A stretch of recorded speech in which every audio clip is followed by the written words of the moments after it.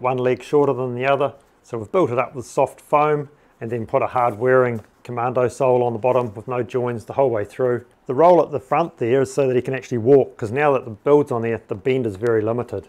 This pair of boots is for a chappie that works on a farm and he's got